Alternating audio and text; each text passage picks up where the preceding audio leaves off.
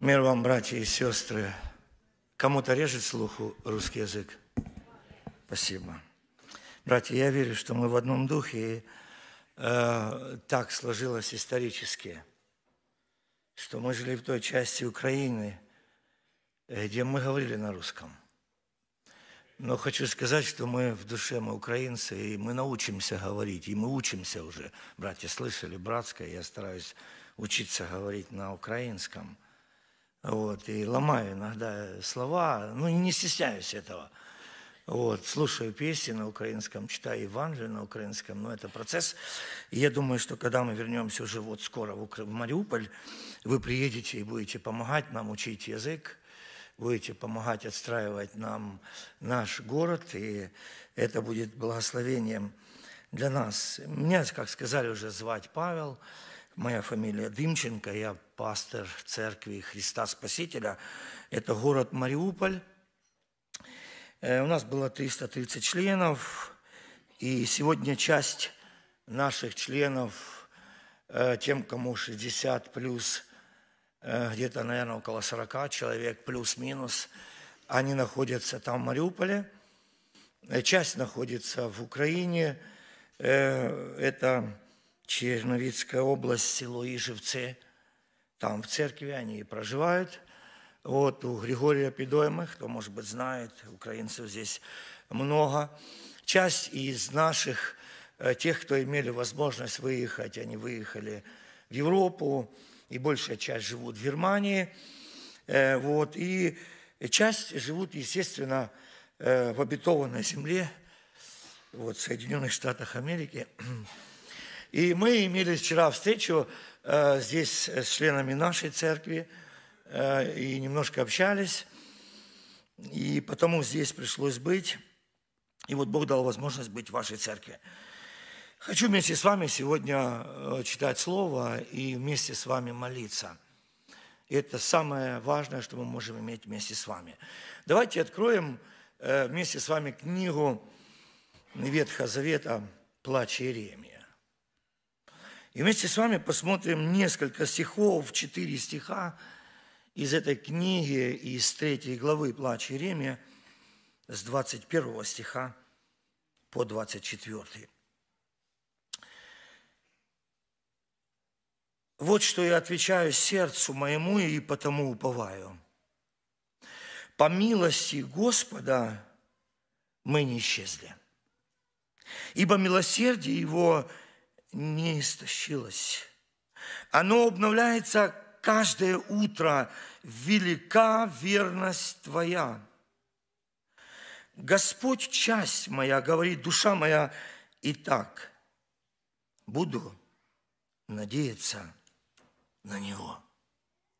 Хочу сказать, что эта книга Ветхого Завета одна из книг, которая перелистывается в каноне Священного Писания, и она не часто читаемая верующими людьми. Кто вот в протяжении этого месяца читал книгу «Плач Иеремия»? Один человек. Кто в этом году читал эту книгу? Кто читал Евангелие от Иоанна в этом году? Намного больше.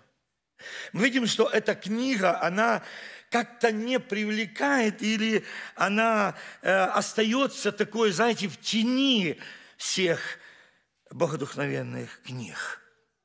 И мы где-то понимаем, почему. Потому что если мы смотрим на эту книгу в контексте, мы видим, что на еврейском языке эта книга, она имеет свое название, и она называется «Иках». Другими словами, в точном переводе она обозначает или звучит с таким вопросительным словом «как?».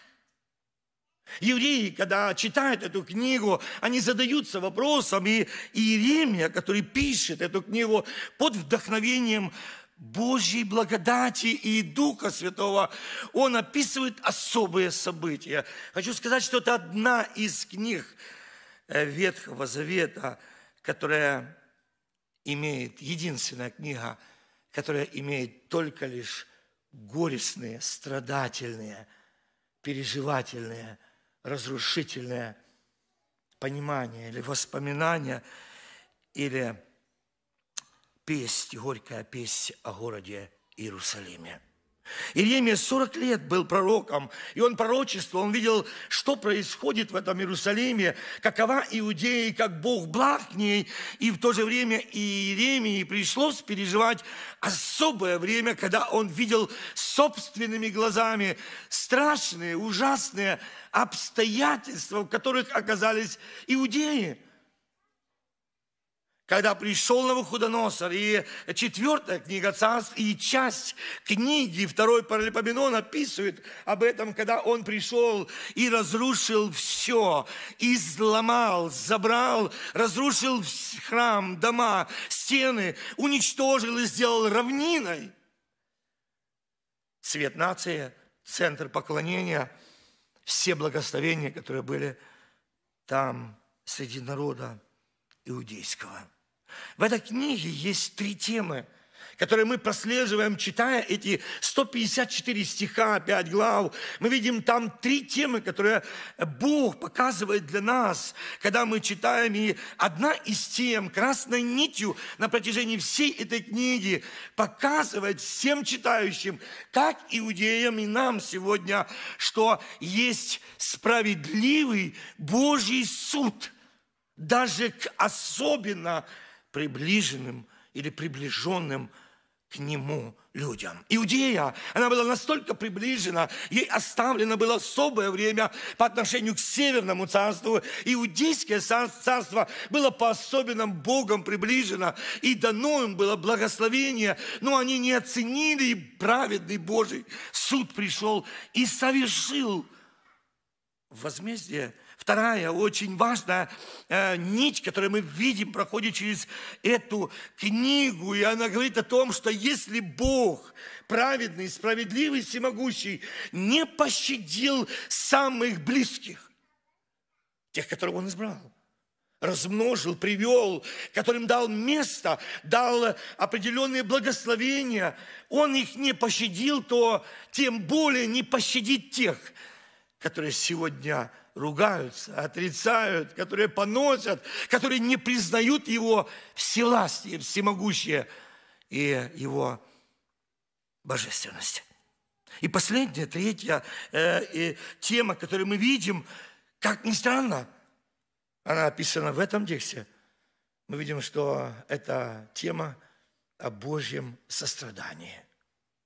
Бог сострадает, и мы видим, что пророк Иеремия, он говорит об этом, несмотря на то, что особенно во второй главе мы видим, что показан гнев Божий к Сиону, когда он изломал, когда погубил, не пощадил, разрушил, когда поверх, отверг, сломил, когда воспылал в палящем огне, натянул лук, когда направил десницу, когда убил. И написано очень много глаголов, которые показывают на действие Божье, направленное против этого народа, который не послушал, который не явил верности.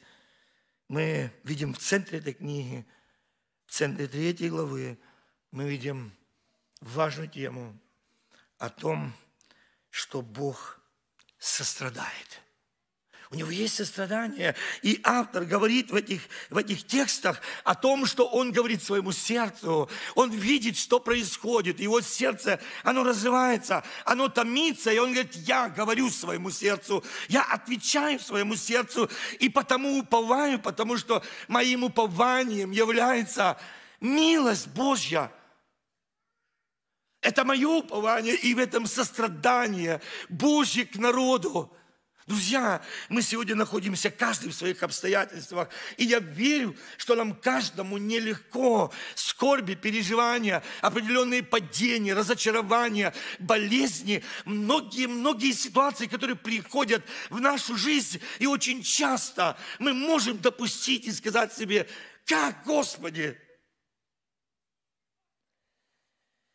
Когда мне пришлось уезжать из церкви, это было в конце марта 22 года, мне пришлось уезжать из церкви на последнем транспорте, последнем в колонне. когда я выезжал и смотрел там, где прошли мои 10 лет пасторского служения, и это было все разрушено и уничтожено, звучал вопрос, как? Господи, как? Мы попадаем в эти обстоятельства жизни, с нами происходят определенные вещи, для нас непонятные, Бог допускает, но при всем этом Бог являет свою милость. Братья и сестры, четыре грани Божьей милости в этом тексте. Первая грань Божьей милости, 22 стих, мы с вами видим, где Иеремия говорит, по милости Божьей мы не исчезли.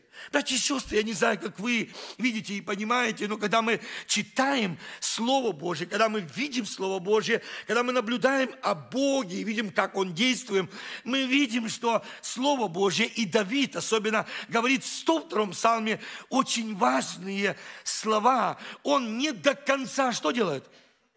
Гневается не до конца. Если бы Бог до конца гневался, мы бы с вами что? Исчезли. Нас бы не было никогда. И вот здесь Иеремия говорит, по милости Господа мы не исчезли. Мы можем перефразировать сегодня, чтобы нам было понятно, и сказать такими словами. У нас очень плохие дела, но они не обстоят хуже, чем они могли обстоять.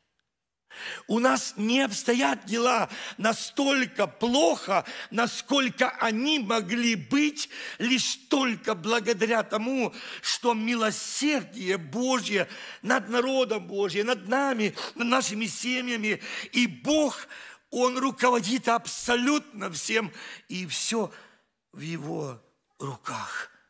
Чтобы нам понять эту мысль, давайте вспомним один пример из Ветхого Завета – там у Артаксерса в царстве, который имел 120 областей, находится один народ. И этот народ, он э, был среди этих людей, которые наполняли его царство. И, может быть, на них никто не обращал внимания – но мы видим, что этот народ особенный. И Мардахей это показывает своим непоклонением перед Аманом. И он показывает о том, что он поклоняется Богу, но ни в коем случае не амаликитянину. И он стоит твердо и кажется, это его позиция, и мы видим, что этот Аман поднимает особые обстоятельства, и подписан указ, и назначена дата, назначено время, когда он, его народ, они будут убиты, и для него стоит виселица, все организовано, и кажется,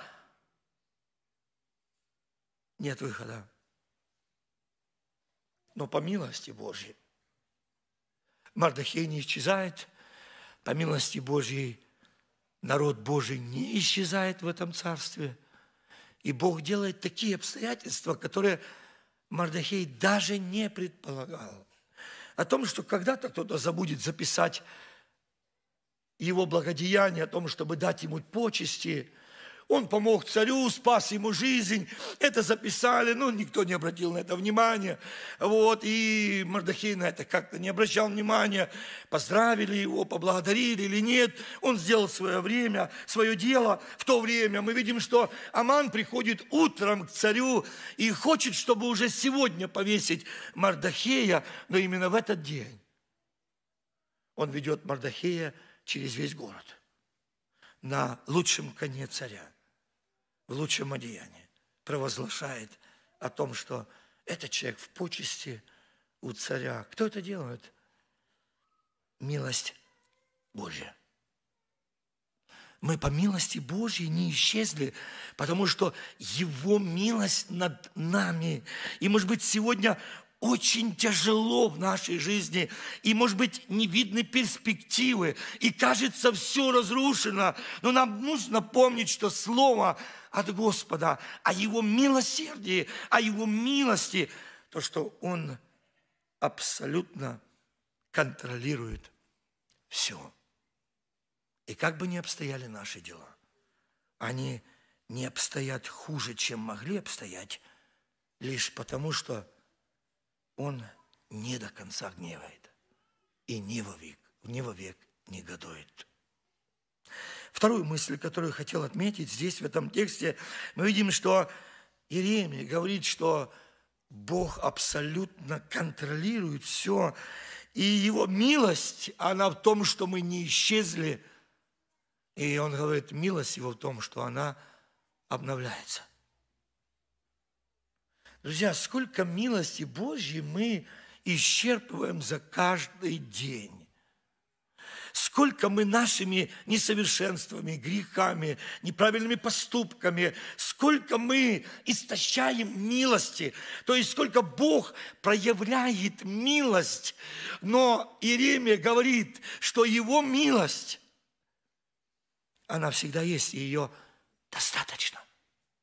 Достаточно, абсолютно достаточно для каждого – мы очень часто встречаем людей, которые говорят, мне нет прощения, я сделал то и другое, но мы понимаем, что у Бога милосердие, его достаточно. И мы очень часто говорим, нет, этому уже никогда не быть верующим. Этого ничего не исправить. Этого только могила исправит, и мы способны, проходит время, Божья милость касается – Божья благодать действует, и изменения мы видим у людей, и эти люди становятся новыми, потому что Бог действует.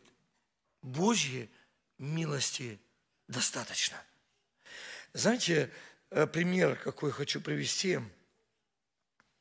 Когда мы читаем Ветхий Завет, и мы видим, что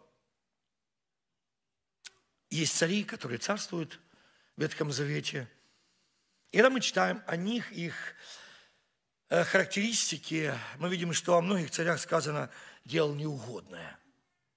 А других сказано, делал угодное, но, знаете, когда я перечитываю Ветхий Завет, и в этом году перечитывал, я всегда останавливаюсь на Манасии. Особый царь. Когда мы о нем читаем, ну, кажется, ну, если бы по нашим пониманиям, то его нужно было, ну, уничтожить сразу. Ну, вот сразу, как только он стал, ну, во-первых, он из иудейского рода – он э, э, внук Давида, он э, сын благочестивого царя. Ну, у него все были, как говорится, ну, гены, все были гены, благословенные. Кажется, но ну, этот человек царствует больше 50 лет, делает такие вещи страшные, что хуже его никто не делал. Настолько завел в грех иудею, насколько делал беззаконие страшное. Приходит время, он призывает имя Господне, и Бог слышит его. И Бог возвращает его на трон. И Бог дает ему возможность исправлять что-то еще. Господи, как ты можешь? А Бог говорит, оно обновляется. У меня есть милосердие.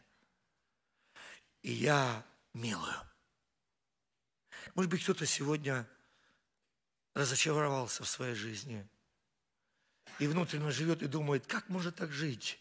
Шаг падения, два падения, три падения, подъема, пять падения. Как можно, друзья? Сегодня это слово говорит к нам, что его милосердие не истощается. Он милует, потому что любит. И вот почему Давид в конце своей жизни, кто читает э, книгу Царств, 24 глава, Второе царство, он, он попадает под эмоции своей жизни. 40 лет царствования, чего-то достиг, хочется знать, что достиг. И говорит, слушай, я посчитай там людей, надо их посчитать, сколько у меня. Начинал у меня было 200 человек, потом стало 600. А потом, когда пересчитал, а его армия больше миллиона, 800 э, Северное царство, э, 600 иудеев, и дрогнуло сердце. Ему приходит пророк, говорит, три наказания. Выбирай. А он говорит, все, все, все, меня жизнь так научила. Ни люди, ни не надо, ни на себя не уповаю, только в руки Господа. Ибо Его милосердие, оно не истощилось. Хочу сегодня, чтобы мы с вами могли понимать, что милосердие Божье не истощились, не истощилось, и идти к Нему, верить, принимать эту милость от Господа – и иметь благословение, благословлять Господа и радоваться Его милости. Третье, что мы видим, 23, 23 стих, вторая часть стиха. «Велика верность Твоя». Знаете, читая э, книги Ветхого Завета, иногда удивляюсь о ну, поступках людей, разных людей. И вот э, тот же пророк Иеремия в своей пророческой книге Иеремия, 34 главе, он описывает и э, показывает, как люди реагировали на обличение. И пророк обличает в 34 главе и говорит, вы нарушаете заповеди, нарушаете законы, вы относитесь неправильно к своим братьям, которых вы должны были отпустить, и они не должны были у вас быть рабами. И вы знаете, евреи слушают это обличение. И что делают? И отпускают своих братьев. Они так воодушевились, так хорошо сказал Иеремия, и они отпускают своих братьев, которые были евреи, рабами в э, их э, семьях, в их жизни, и они отпускают их, проходит время, они смотрят, а, а у них некому работать. Тоже братья их были, рабы, им нужно было работать а теперь некому работать. Это надо кого-то нанимать, платить финансы. И они передумали, помните? И начали идти и забирать братьев обратно. Говорят, нет, ты мой раб. Мало то, что я тебя отпустил, ты будешь мне рабом. Знаете, э, на чем было основано вот это их желание отпустить своих братьев? Знаете, на их человеческих пониманиях и эмоциях. К чему я это говорю, братья и сестры? Хочу нас к тексту опять и посмотреть, что милосердие Божье и милость Божья, благодаря которому у нас не обстоят хуже дела, чем они должны быть. И мы с вами испытываем это милосердие каждый день. Оно обновляется лишь благодаря тому, что оно основывается не на архангела силе, не на херувимах, которые контролируют это милосердие, не на каких-то ангелах, не на церквях, не на пастырах, а на верности Божьей. Братья и сестры, верность Божья является основанием милости. И потому Иеремия говорит, велика верность Твоя, Господи. Вот почему есть милость. Вот почему мы не исчезаем. Вот почему мы каждый день пользуемся этой милостью и получаем милость от Господа, потому что это Его верность. Не наши добрые поступки – не наши хорошие дела, не наше, знаете, христианство, не наше поколение, которое мы находимся в вере, или поступки, или дела. Нет, только верность Божья является основанием милости, проявляемой к тебе и ко мне. К этому пример. Давид. Если мы читаем о Давиде, о нем очень много написано – Большая часть первого, первой книги царств и вся вторая книга царств описывает это муже Божьем, друге Божьем. Когда мы читаем вторую царств, седьмую главу, мы видим, что в этой главе Бог по-особенному приходит к Давиду. И он ему открывает свое желание и говорит, Давид, ты царь навек. Вот навек твое потомство, они будут царями. И это мое слово – и когда Давид это услышал, что ему дан вечный завет царства, почитайте, как он молится. Господи мой, Господи, Господи, Боже мой. И он на протяжении определенных стихов, он восхищается Божьим доверием, которое Бог оказал к нему. И он радуется этому, что его царство навеки. Проходит время, приходит какая глава?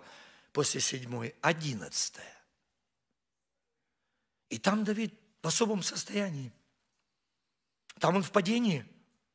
Там он в ужасном состоянии, в ужасном. Он убивает лучшего воина своего. Он забирает у него жену. Он нарушает все десять заповедей в своем поступке, все. Этот человек обречен. И к нему приходит Нафан и говорит, вот там овечку забрали – съели ее, и оставили этого бедного человека без овечки. И Давид такой, знаете, ярости, говорит, смерть ему. Убить его надо. И пусть четверо заплатит. А недолго думая, говорит, ты тот человек. И проходит время, в этом главе он говорит, но ты не умрешь.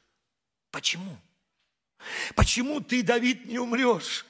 Ты убил, ты должен был убить. Ты нарушил все заповеди. Почему? Знаете почему? Только благодаря верности Божьей своему слову. Он сказал о Давиде слово и не изменил его. Он его наказал, он его провел через определенные обстоятельства, он потерял детей, он был и в изгнании, он был в особых обстоятельствах своей жизни, он все пережил, но Бог оставил его на троне до последних дней жизни. И Иисус Христос является царь навеки, потому что он из рода Давидова. Братья и сестры, не потому, что мы сегодня хорошие с вами, но потому что мы имеем милость, которая охраняет нас, мы ею пользуемся. И это основано на верности Божьей. Последнее. Друзья, этот автор, Иеремия, он говорит, говорю своему сердцу и уповаю, что не хуже дела, чем могли обстоять, что милосердие Божьего достаточно на каждый день, достаточно – что милосердие Божье, оно основано на Его верности. И дальше говорит, Господь, часть моя, говорит, душа моя, и так буду надеяться на Него. Друзья, можете представить Иеремию, который смотрит абсолютно на разрушенный город, где нет храма, где все изломано, где все забрано, э, где разрушены дома, где весь город в руинах, нет стены, нет ничего. И вот этот человек говорит своей душе и говорит, вот все забрали, все разрушили. Не эта часть моя, часть моя, Господь. Это то, чем я обладаю, и что у меня никто не может забрать. Это Господь. Только Он, Он моя часть. И я говорю, это моей душе сегодня. И при этом говорю, даже если все вокруг, и я вижу, что оно в ужасном состоянии, оно разрушено, уничтожено, и кажется, нет абсолютно никакого-то выхода, есть надежда. Всегда есть надежда. Друзья, это слово сегодня к нам. У нас есть надежда, потому что часть наша – это не то, что в мире, не то, что мы имеем, а часть наша, то, что в нашем сердце, наш Господь. Пример к этому. Первые шесть глав книги пророка Даниила, они рассказывают исторические обстановки определенного э, и э, определенную жизнь иудеев э, в определенном царстве.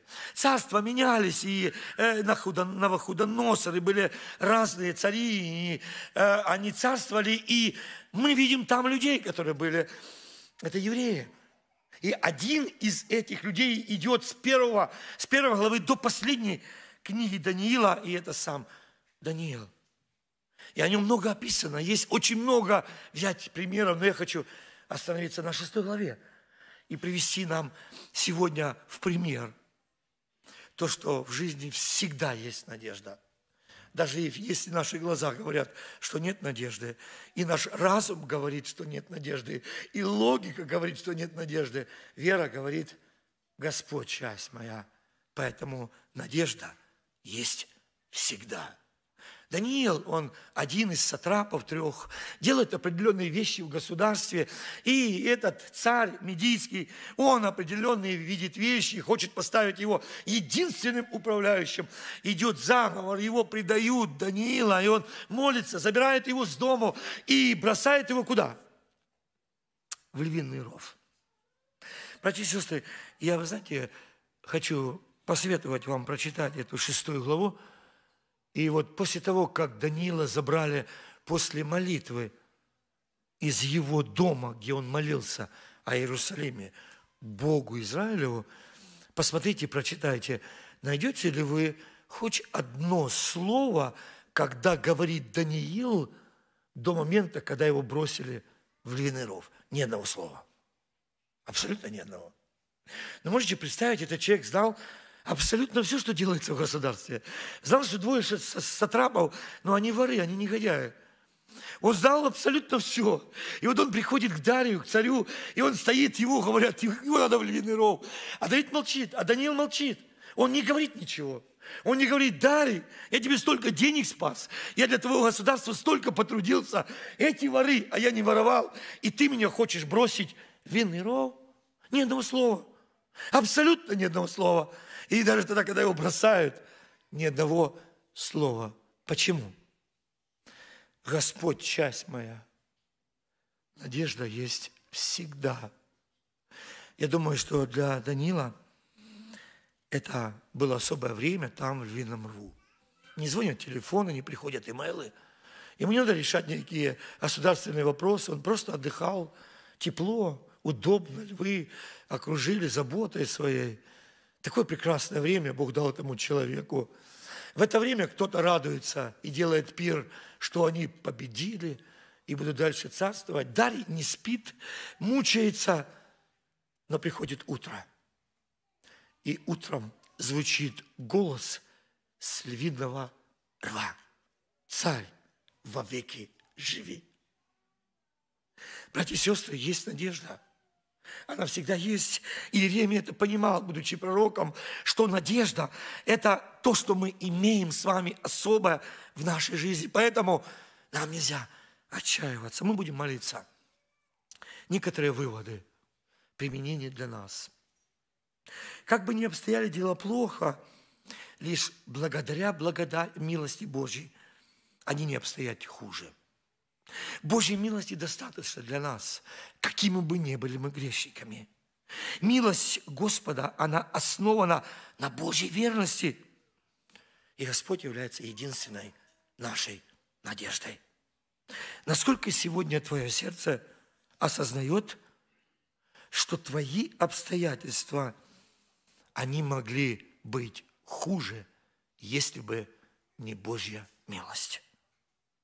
Если ты осознаешь это, ты признаешь Божье всемогущество. Насколько это сегодня смиряет твое сердце? Насколько ты сегодня осознаешь, что ты великий грешник, что ты ужасный грешник, ты должен был наказан быть Богом, но Божья милость проявляется к тебе. И она сегодня работает в твоей жизни. И ты сегодня в Доме Божьем, ты имеешь благословение – что происходит это, когда ты понимаешь это в своей жизни, что происходит с тобой, насколько ты оцениваешь Божью благодать, признавая и благодаря Его. Когда ты размышляешь о Божьем всемогуществе, насколько твое сердце радуется тому, что ты это понимаешь. И последнее, насколько бы не обстояли дела, и насколько бы, бы были безвыходны. Я хочу, чтобы сегодня благодать, она поднимала тебя, поднимала меня, и мы могли идти, и мы могли служить, потому что Божья благодать во Христе – это самое драгоценное, что мы сегодня имеем. Да благословит нас Господь. Аминь. Помолимся.